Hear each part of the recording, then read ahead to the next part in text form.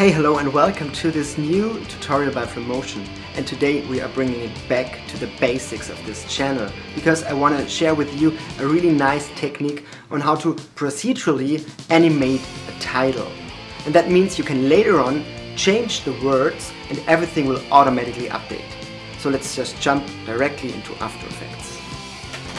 So in here, let's just start from scratch. We create a new composition 1920 by 1080, 25 frames is fine, also 5 seconds sounds fine, maybe let's just make it 8, just in case, and hit OK.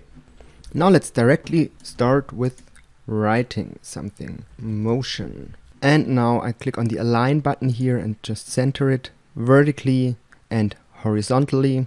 The font is pretty thin, which helps a lot for the effect later on. Also, I have like a pretty round and fluid font, which also helps when it gets this fluid liquid motion later on. And also I chose the word because I have a lot of fluid motion in that direction, but the T really stands out. So I also get that motion. And last but not least, I took that font because all the letters are separate, but I also have like the, the M and the O that are connected. Because later on you will see that the effect works on each separate part differently. Okay, enough of the talking. Let's just pre-compose this and call it our text source. Because later on we can then always go back into that composition and change the word and everything will update automatically. So for the effect, we want to have three, maybe four different parts that make up the effect.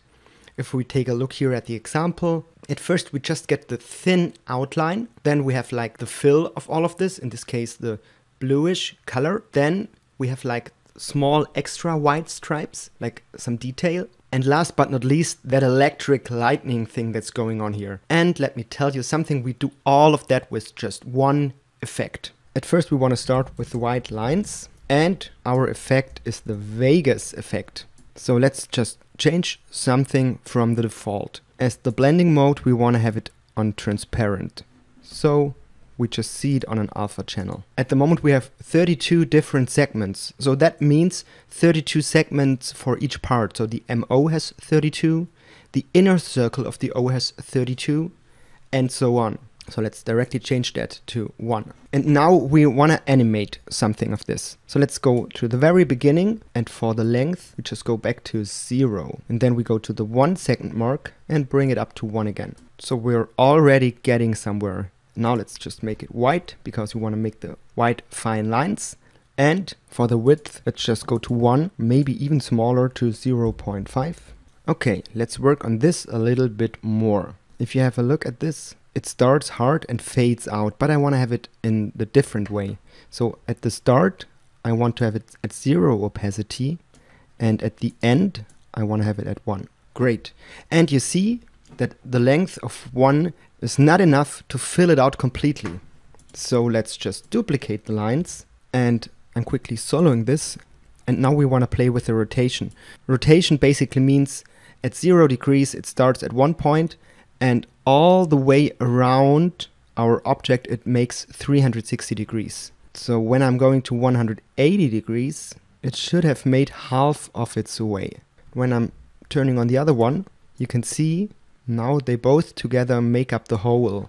Of course you can play a little bit with the settings here so that it's not completely the same. Maybe make the length a little bit shorter here. And let me solo this once again. When you click on random phase, it doesn't start at the same point for each letter. So this will also give it a different look. So let's just check this for one of the layers.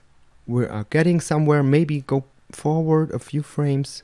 And maybe we make this an easy ease keyframe by right click on it, easy ease.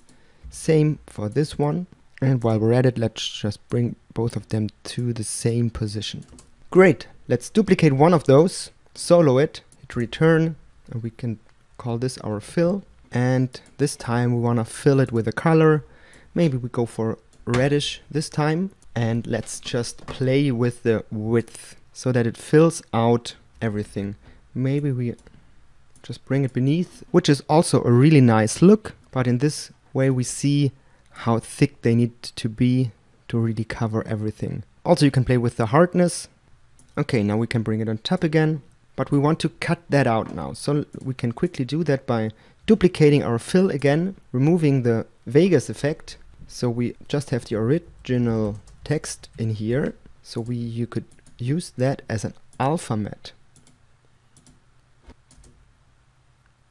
And again, let's take both of them and offset this a little bit. So at first the lines appear and then after some time it gets filled out.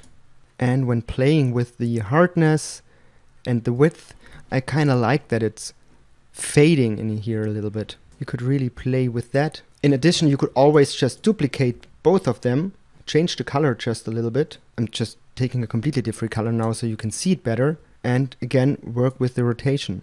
You see, then everything would be covered. And we could again offset that and as I told you, maybe not to take the green color, but kind of a similar color, maybe just brighten it up a little bit. Great. So we have that. So now let's work on those small details that we had. For that we again take the white lines, just solo those. And for the details we just want to have like a small length. So let's delete the keyframe from the length and make them as short as you like. And for the opacity, we also bring up the start opacity. So we just have lines that are following. But wait, they are not following because at the moment we haven't animated anything. So it would be great if we could animate the rotation so that they would make their way around. And yes, this is exactly what we do. Therefore, we could use an easy expression or you just make a keyframe at the beginning, go to the end and just increase it but let's hold down the Alt button and click. And now we type in something really easy. Time times, let's say 100. And what that means is the rotation at zero is zero because the time is zero times 100 is zero. At one second, the time is one times 100 is 100.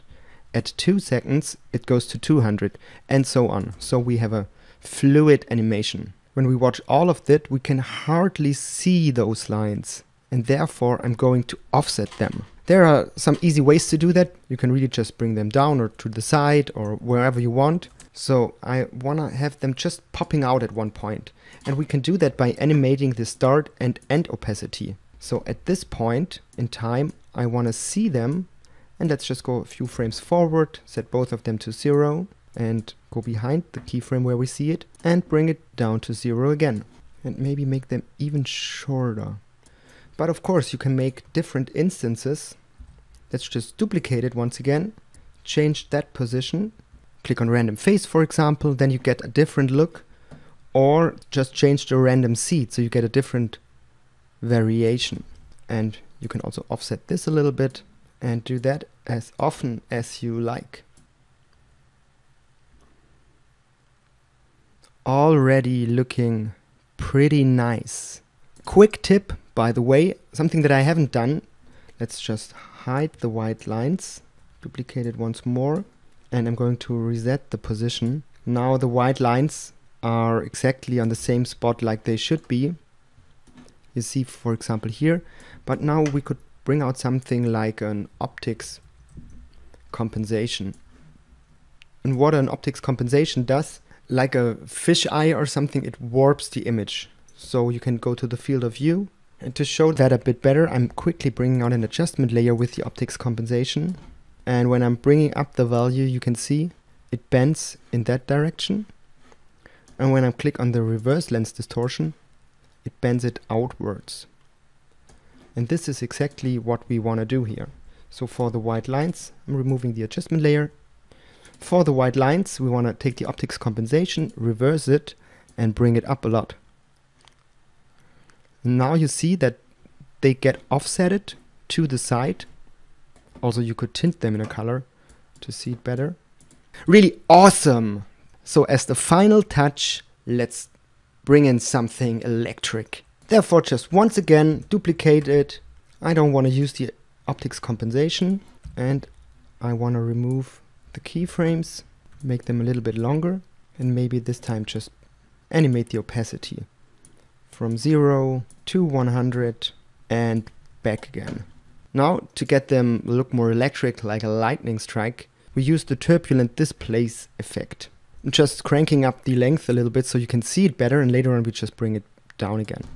So the turbulent displace, this is without and this is with, so it distorts it quite a lot. If you bring down the amount to zero, doesn't do any distortion. But let's bring it out so that we see what's happening. And now we can play with the size. So we want to make it a smaller size.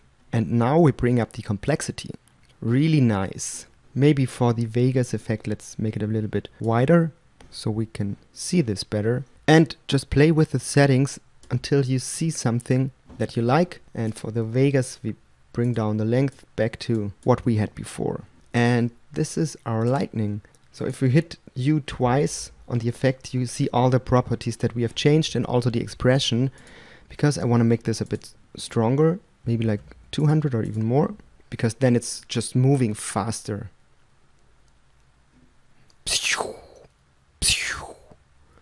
Yes, this is looking really cool. Let's see how this looks. And last but not least, we want to add a glow to our lightning.